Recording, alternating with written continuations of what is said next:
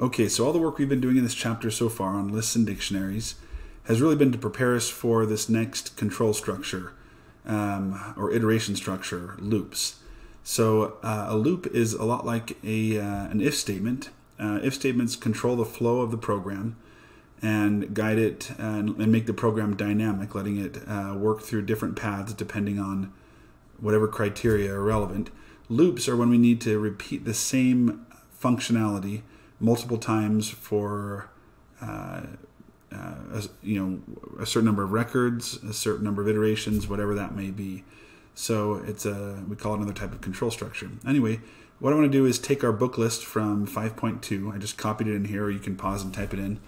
And let's make uh, the first of two types of lists. There's four and or sorry, first of two types of loops: for loops and while loops. So a for loop we often use when we have a predefined list that we want to work through or do something with. So as soon as I write the word for, you see it turns purple. That's because it's a reserved word that's understood by the Python compiler. Next, I'm going to put a uh, variable name. I can call this whatever I want. This variable is simply going to represent each of the items in the list I'm about to work through, or the dictionary. So I called it book simply because book list represents books, but I can call this whatever I want and it's still going to work just fine. It's going to be used to iterate and represent each of the books in that list. So I just call it book because it's descriptive. So for book in, and notice in turns blue because that's also a necessary reserved word for a for loop. And I so I have uh, the word for, a new variable name to represent items, the word in, and then the list of the dictionary that I want to iterate or loop through uh, colon, just like I use with an if statement to end an if, an elif, or an else. Next, hit down or hit uh, enter and notice it automatically spaces in two lines, just like the if statement does too. If I want some functionality to happen repeatedly as part of this loop for each item in that book list, that that behavior or that logic needs to be spaced in twice or four times or some set number of times. So by default it does two, I'll stick with that. So all I want to do each time is print book. So when I run this, that's what it does for each item in this list, it simply prints out on a new line. So I, uh, I could do more than just print though. I could use any number of uh, string commands to um, edit the text or search for and, and clean up text. We'll come to that later though. For now, let's show you the next type of loop and we'll come back to some examples of both of these. So uh, for is the first loop, the uh, while is the next loop. I want you to do this. Let's create a variable, an integer called x, and let's set it equal to 0. And let's make a while loop, which also turns purple, just like our for.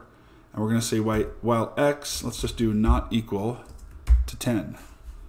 So this criteria here, unlike up here, book in book list, this loop is going to run as many times as there are items in the list.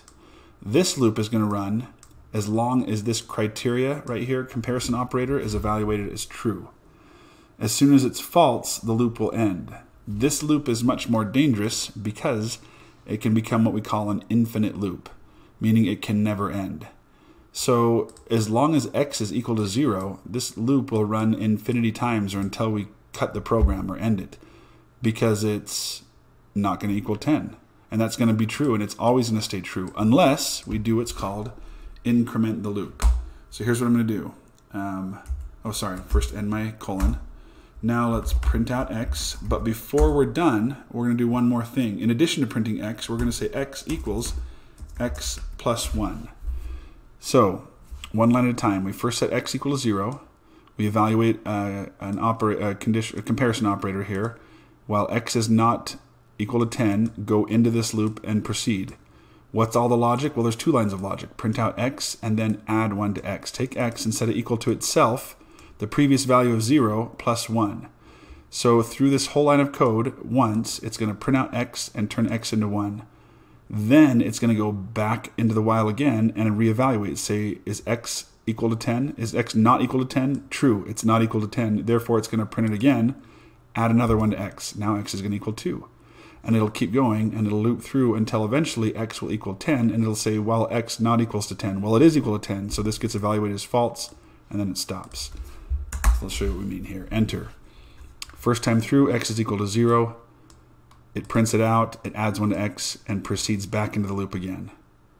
and it keeps going until that last time it turns x to 10, but it doesn't print out 10 because it, it, it becomes 10 after the print line.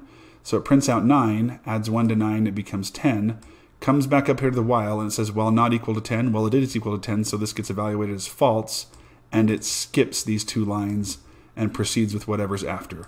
So for example, we could say, uh, let's come up here and say print, whoops, whoa, easy, right here. All right, print um, uh, self destruct in, and then let's print out the number and let's concatenate onto that, that little dot, dot, dot.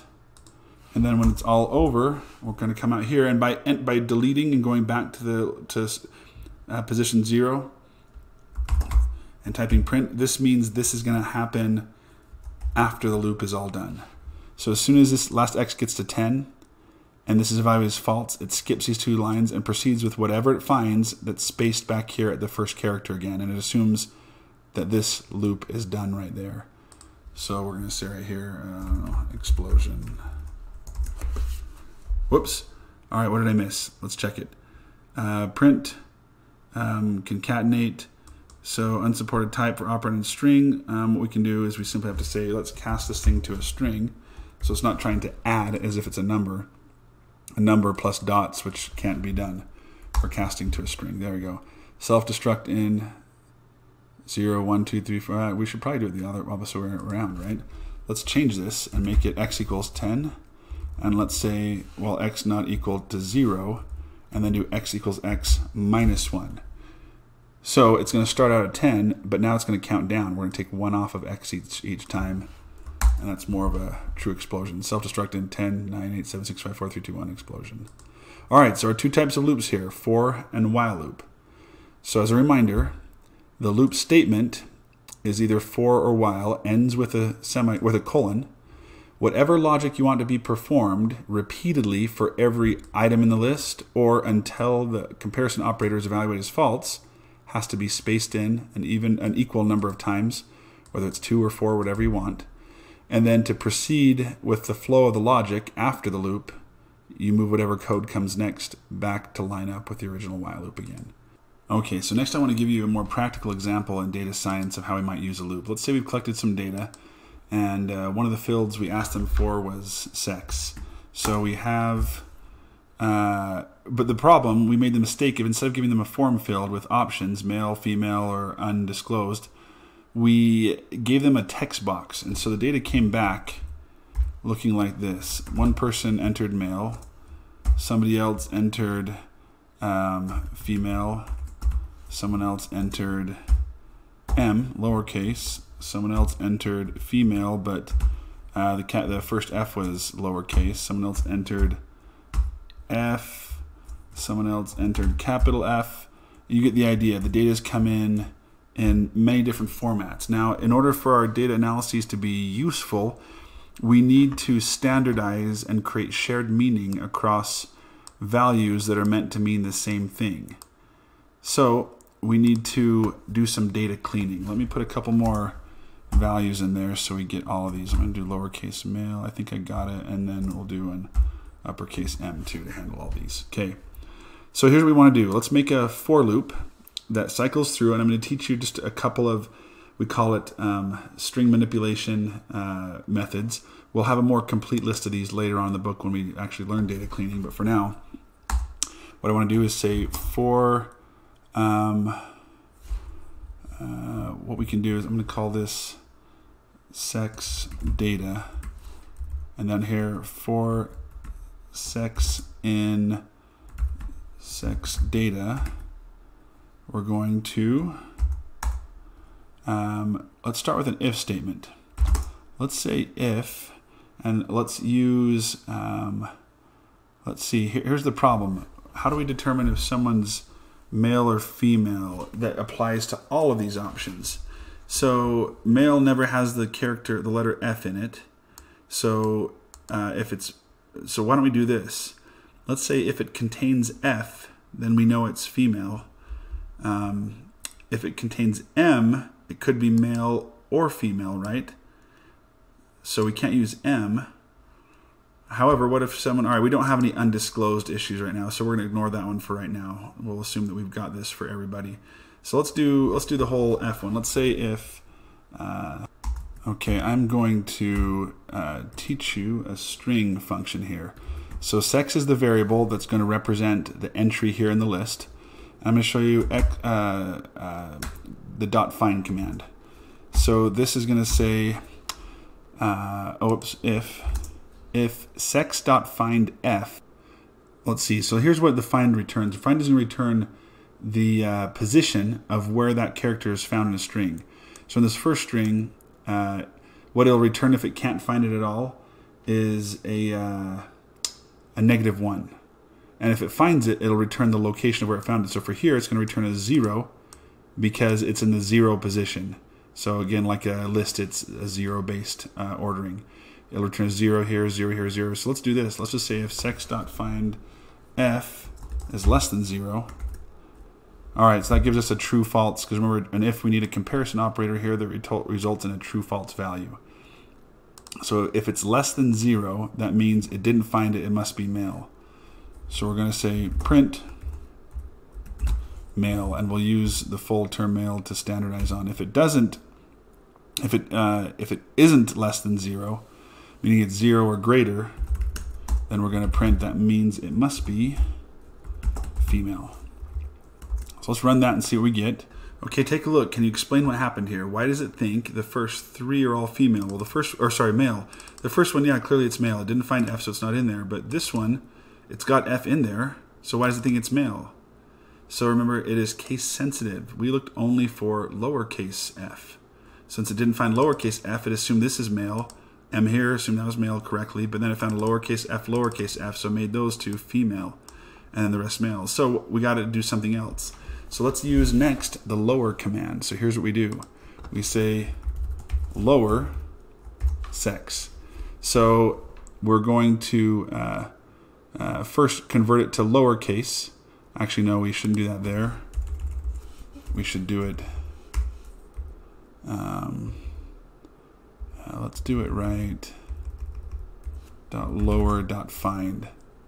I think that might do it for us. Let's check. Oh, nope. Uh, didn't like that. So let's say, actually right here, sex equals lower dot, uh, sorry, equals sex dot lower. So now we can say we've converted it to lowercase. Let's see if it likes that. There we go, perfect. So we said sex equals what it was before dot lower and converts everything to lowercase. Now clearly there's also an upper. Uh, that'll work there too. So now let's see if it converts this one now to lowercase f. If it finds that perfect, male, female, that's correct, male, correct. Three females in a row, correct, two males in a row, perfect. All right, so here's an example of a for loop with uh, an if statement inside. I know you probably feel like you still have a lot to learn about loops, and you do, but I think it'll be easier to learn those with some uh, with some practical problems. So for now, let's call it good and let's move on to the next section.